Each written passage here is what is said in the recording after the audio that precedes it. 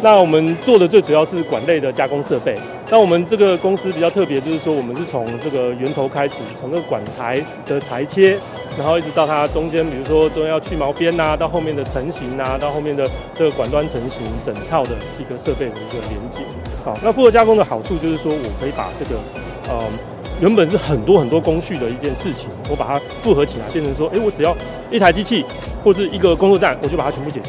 那以前，比如说像我们刚刚讲说，这这这台机器，它可能，呃，我做这台管，做这支管，我要三台机器，甚至四台机器，里面要用好多好多的人力，然后呢，每一台机器又要耗很多的能量，对。但是我我现在这个已经全部数位化了，我是用程式设定，我不需要再开模具了，哦，所以我我东西就是拿来一台机器，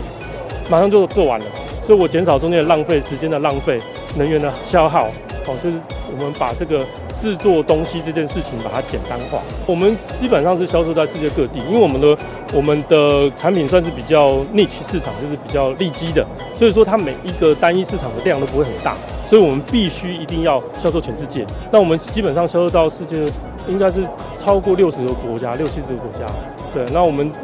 呃，专业的代理商有超过四十五间，那我们自己市的分公司呢有五间，所以说在全世界我们的销售网络布的非常广。哦，公司其实各各方面的人才都非常需求，当然是机械公司当然是机械人才嘛。那那我们做这个呃，科制化自动化就需要电机的啊，软体的人才。那工业四点零需要 AI 的人才。那我们公司做镭射，所以需要光学的人才。